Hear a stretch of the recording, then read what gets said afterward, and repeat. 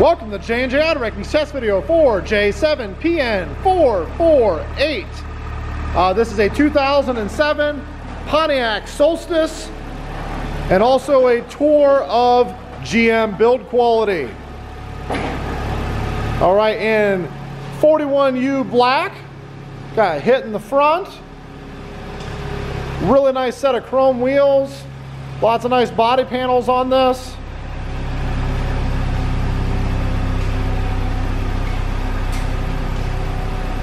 Running nice and smooth. Take a step inside here. Got beautiful seats. Oh, no, no, no, never mind. That's the GM build quality issues there. Uh, so let's take a look at the center console. Oh, no, we got more GM build quality issues there too. My bad. All right, so on to the uh, shifter. Uh, no, that's more GM build quality issues. Maybe this glove box.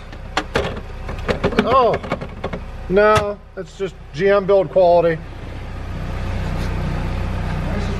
Anyhow, enough joking around. We've got, doo, doo, doo, oh, missed it again.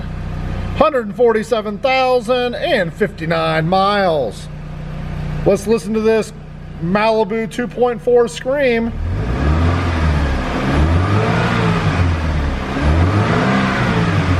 Yeah, baby.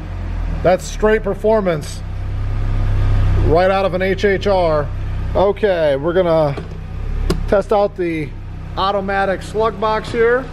We got good forward. We got good reverse. And if we're lucky, it's gonna do a nice big gravel drift when I pull it out of here. We'll shut her down. It's gonna do it today for J7PN448.